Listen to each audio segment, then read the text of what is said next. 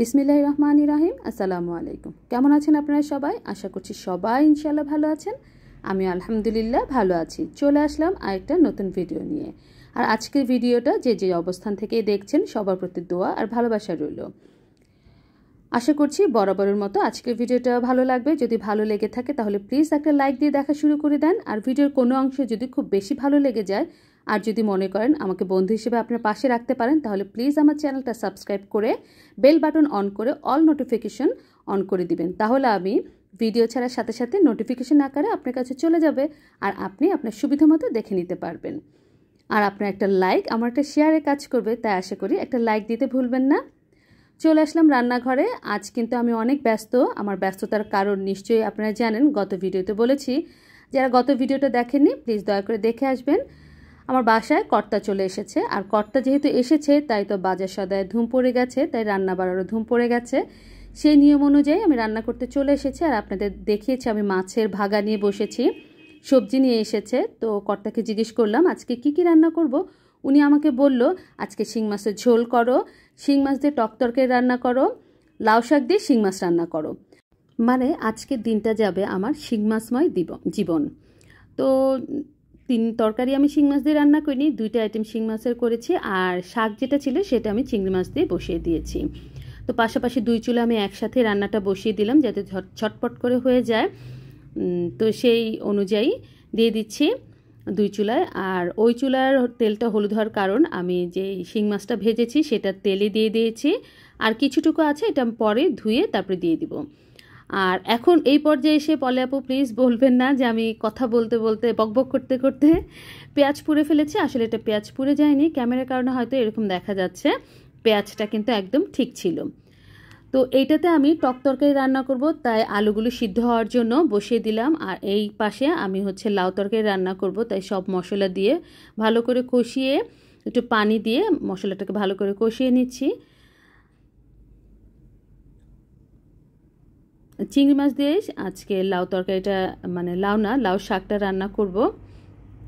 তো লাউ শাকটা দেওয়ার আগে আমি একটু মাছটা ভালো করে কষিয়ে নিচ্ছি। যে যার সুবিধা মতো, যেরকম পছন্দ সেরকমভাবেই তরকারি রান্না করে।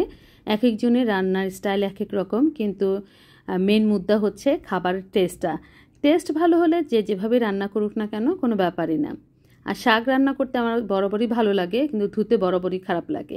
শাক রান্নার মজার বিষয় হচ্ছে প্রথমে দেওয়া অনেকগুলো, পরে অনেক অল্প হয়ে যায়।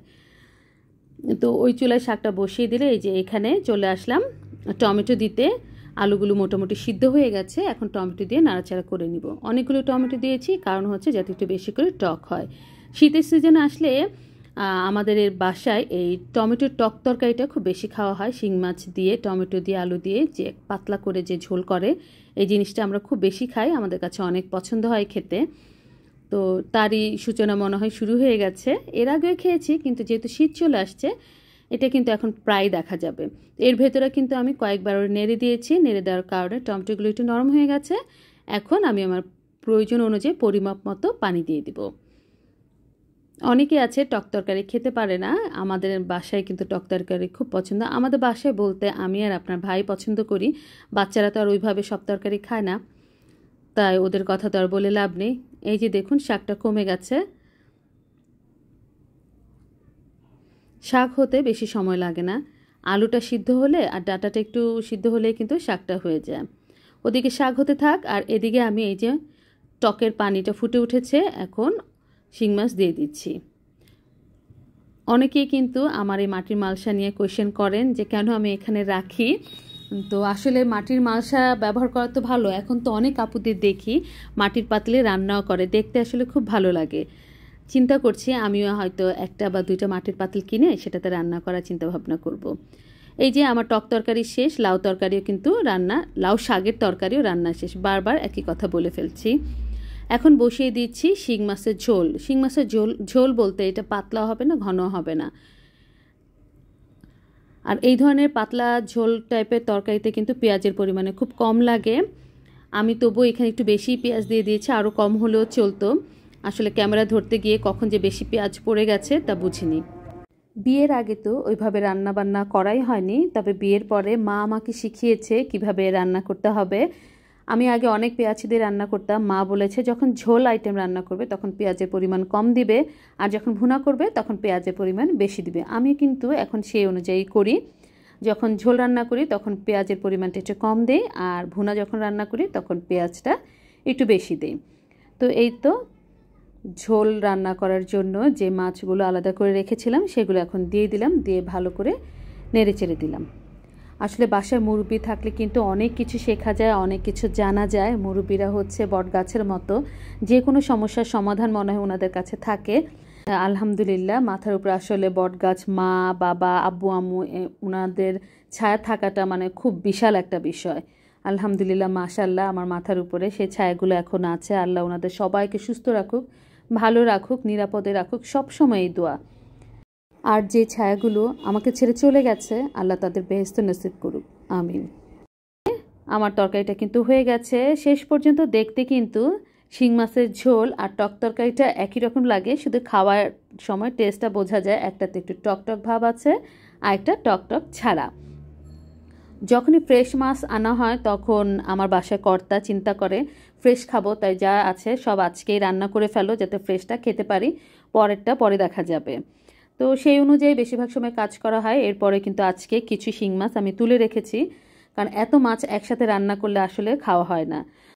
এই গরমে রান্না করতে করতে যখন খুব টায়ার্ড তখনই আপনার ভাই এই মজার জিনিসটা নিয়ে হাজির। এটা হচ্ছে কটবেল মাখা। আমি কিন্তু মাখাইনি। এটা যেই লোক কটবেল বিক্রি করেছে, সেই সুন্দর করে এরকম প্যাকিং করে কটবেলটা মাখিয়ে তারপরে ভর্তা করে তারপরে দিয়েছে। অসাধারণ টেস্ট ছিল। এই গরমের ভিতরে একদম পারফেক্ট ছিল এবং টাইমিংটাও খুব পারফেক্ট ছিল। কটবেল ভর্তা খেয়ে এই যে দেখাতে চলে আসলাম আমার রান্না। দেখেছেন তো, শিং মাছের ঝোল, এটা হচ্ছে শিং মাছের টক আর এটা হচ্ছে শাক। আর ডালটা হচ্ছে আমার বাসা কমন গ্রামের বাড়িতে যেমন দুধ থাকে কমন আমার বাসার ডাল হচ্ছে কমন তো দুপুরে খাওয়া দাওয়া শেষ রেস্ট নিয়ে, এটা হচ্ছে সন্ধ্যার দিকে, আনারস নিয়ে এসেছিল। তো আনারসটা কাটতে বলল। আনারস কাটাটা আমার কাছে সব সময় খুব বিরক্ত লাগে, কারণ হাত দিয়ে ধরলে এই কাটাগুলো মনে হয় আমার হাতের ভিতরে ঢুকে যায়, এর জন্য খুব বিরক্ত লাগে। কিন্তু এরপরেও আপনাদের ভাইকে দেই না, কারণ আপনাদের ভাই আর আমার ছোট বোন এমনভাবে আনারস কাটে যে ওরা অর্ধেকের বেশি আনারস কেটেই ফেলে দেয়। তখন মনে হয় আসলে খাব কি? তাই বললাম, কষ্ট হলেও দাও আমি কাটি, আমি আমার মতো করে কাটি, একটু সুন্দর ডিজাইন করে, তাহলে দেখবে এটার যে চোখ আছে, এগুলো থাকবে না। এই ছোট ছোট গর্তগুলোকে আমরা আমাদের এলাকায় তো চোখই বলে। আপনারা কি বলেন? আসলে জানি না। জানাবেন কমেন্টস বক্সে যদি এতক্ষণ পর্যন্ত কেউ আমার ভিডিওটা কন্টিনিউ করে থাকেন। তো এইভাবে করে কাটলে চোখগুলো সব চলে যায়। আর এই আনারস, লম্বা আনারসগুলো মানে বড় সাইজের আনারসগুলো এখন আর খেতে ভালো লাগে না। এগুলো একটু টক থাকে আর টক আনারস খেলে মুখ ছিলে যায়, কিন্তু করার কিছুই নেই। এত বড় একটা আনারস না খেয়ে রেখে দিলে তো নষ্ট হয়ে যাবে। আর এই আনারস খাওয়ার জন্য আমি আর আপনাদের ভাই আছি আর অন্য কেউ নেই। তো আনারসটাকে সুন্দর করে কেটে, ছিলে, টুকরো করে নিলাম, মাখিয়ে নিলাম। আনারস খেয়ে চলে যাবেন না, আরেকটা জিনিস দেখায়। সোবাহান আল্লাহ মাসাল্লাহ আল্লাহ সৃষ্টি দেখলে শুধু তাকিয়ে থাকতে ইচ্ছা করে। আল্লাহ, তুমি কত মহান, কত সুন্দর করে সব কিছু সৃষ্টি করেছ। সবসময় তোমার সন্নিকটে রেখো আর নেক হায়াত দিয়ে তোমার প্রিয় বান্দা করে দুনিয়া থেকে নিও আল্লাহ। আমিন। তো এই সুন্দর জিনিসটা দেখিয়ে আজকে আমি আমার ভিডিওটা শেষ করতে চাচ্ছি। অনেকক্ষণ আপনারা আমার ভিডিও দেখলেন, এর জন্য ধন্যবাদ। সবাই ভালো থাকবেন, সুস্থ থাকবেন, নিরাপদে থাকবেন। আমাদের জন্য দোয়া করবেন। আল্লাহ হাফেজ। আসসালামু আলাইকুম।